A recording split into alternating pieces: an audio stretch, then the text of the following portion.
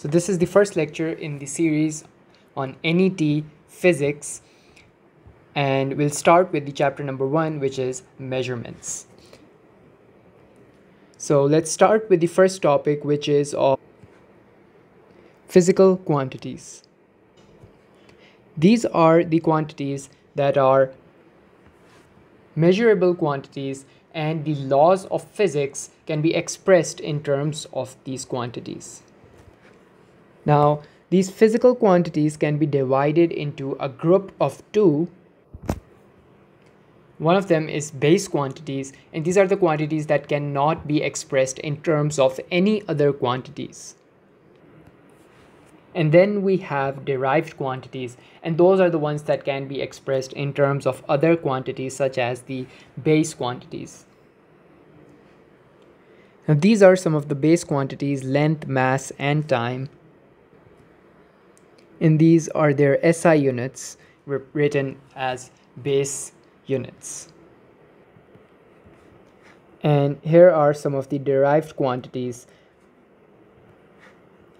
And with them, these are their SI units written in terms or derived from these base quantities, meters, kilograms, and seconds. You can see that the derived units can also be derived from the derived quantities as well such as force that is written with meters per second square which is just the SI unit for another derived quantity which is acceleration.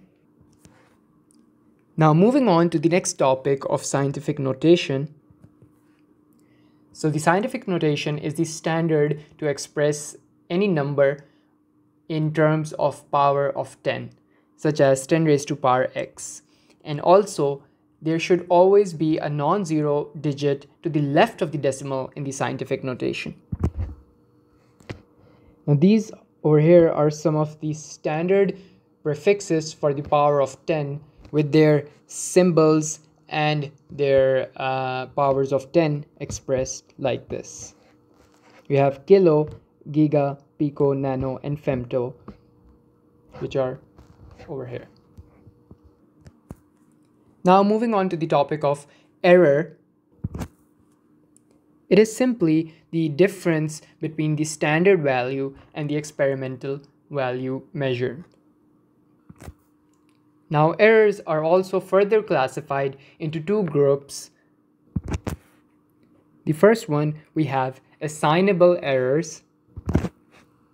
Now the assignable errors are the ones to which we can assign a cause to and they'll always or usually follow the same trend of variations so a cause can be assigned to these type of errors.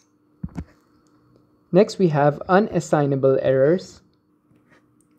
In these unassignable errors are of the type to which we can't assign a cause because they do not follow a particular or any trend whatsoever. So these are the errors that are due to any unknown cause. Now the cure for the assignable errors is that these errors can be controlled experimentally while carefully monitoring any measurement process. And for the unassignable errors, the cure does not come from uh, controlling experimentally as these errors cannot be controlled experimentally. However, you can use a tool from statistics and take average of several of these values and then you can minimize the unassignable errors. Moving on to the topic of significant figures. So uncertainty in our measurements will lead us to establish some sort of a standard way to write the numerical value of a measurement. And this numerical value is known as a significant figure. Now, in any measurement, all of the accurately known digits and the first doubtful digit is termed as significant figures. Moreover, the greater the significant figure you have in your measurement, the more the accurate that measurement is. Now let's discuss some of the rules for significant figures. That is that if you want to determine significant figures in a number, you're going to follow some rules, which are Number one, that all of the non-zero digits that you have in your measurement are known as the significant figures.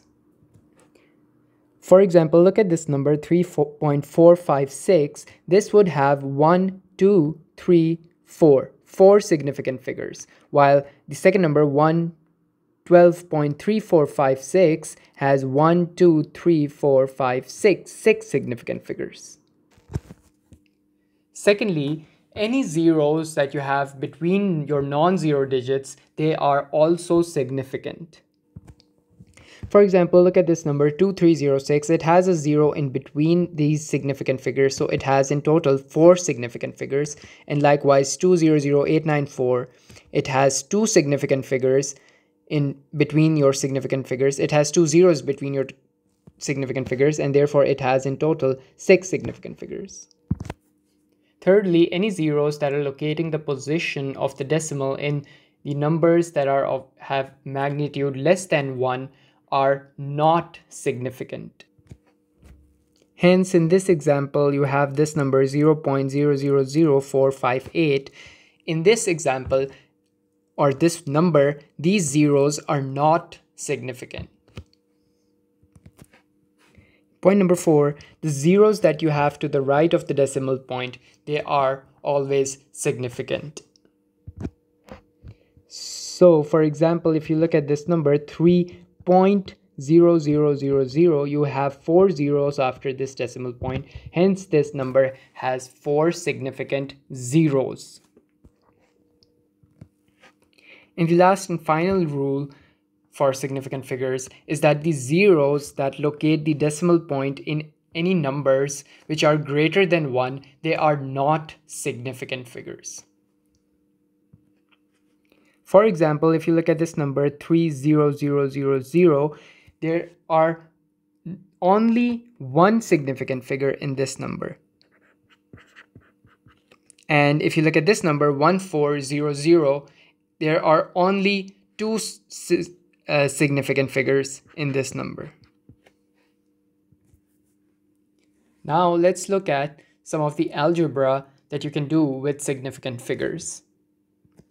First, let's look at division and multiplication. Now suppose you have to compute the following. Once you do, you get this rather long answer which can be reduced to this short answer with just three digits over here. Just a little side note over here that any factor that has the smallest number of significant figures for it, it is called or known as the least accurate factor. Moving on to addition and subtraction form of algebra. You're only required to have the least number of decimal places. So that's what you look for, while counting the number of significant figures is not required for addition and subtraction. For example, suppose you are uh, required to compute this sum. This sum gives you this result 27.855 However, on this side, we have this number with the least number of decimal places, which is 2, and hence we can have the final answer written in two decimal places. So we have 27.86. Now let's discuss rounding off your data. To do so, we have to again consider a set of rules for rounding off your data. So the first rule is that if your digit that has to be dropped and it is greater than 5, then simply add 1 to the previous digit or the last digit that has to be retained or that which stays and then drop everything uh, or all the digits that are further to the right of the number. For example, if you look at this number 3.677 and the digit to drop is 7, so let's see that the digit before that 7 is it is 7 and so the digit 7 itself, the last digit, it is greater than 5, right? So we can add 1 to the second last digit, which is 7, which becomes 8, and then we can drop the further, uh, the rightmost 7, and therefore you have 3.68. Rule number two is that if you're digit that has to be dropped and it is less than 5, then simply drop it without adding any number to the last digit. So in this example, if you have 6.632 and the last digit that has to be dropped it's 2 which is less than 5 so we can just drop it and we have 6.63 as our final answer. Rule number third is that if the digit that has to be dropped and it is exactly equal to 5 then you have two cases. The first case is that if you have to retain an even number then you simply drop the 5. For example, if you look at this number 6.65, the number to retain is 6 and which is an even number so we can simply drop the 5 and we have 6.6. And for the case of odd, if you have to retain an odd number, then you just add 1 to it. So if you look at this example, we have the number 6.35 and the number to retain is 3 so we just simply add 1 to 3 and we have 6.4. Now let's move on to the topic of precision and accuracy. So let's first talk about precision. So the precision of our, our, instrument, it is determined by the least count of the instrument or the device that you're using to perform the measurement. And the smaller the least count of the instrument, means more the precise is your instrument. Moving on to accuracy. The accuracy of a measurement depends on the fractional uncertainty in your measurement or the percentage uncertainty in the measurement. Moreover, the smaller the percentage error is, the more accurate your measurement is. Just a tip over here that if you count more number of readings, then you can reduce the uncertainty in your experiments. Moving on to the topic of dimensional analysis. So every basic physical quantity that is measurable, it is represented in terms of the base quantities by a specific symbol which uh, is written in square brackets and that is called as the dimension of the physical quantity. Now these dimensions are helpful to derive the formulae and to check the homogeneity of your physical equation. Let's solve this problem. We have given that the energy of a photon of light of frequency f is given by hf where h is the Planck's constant, we are required to find the base units of h. So we know that E is equal to hf and we know what is f is simply 1 over t. So the units for this are 1 over second and the units for energy is joules seconds.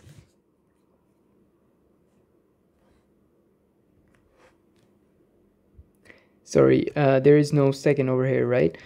We have joules and then how do you compute energy right? So you know you can compute it by force times distance. So the units for force is kilograms meters per second squared times the unit for distance d is meters. So the units for force in base units are simply kilograms meter squared per second squared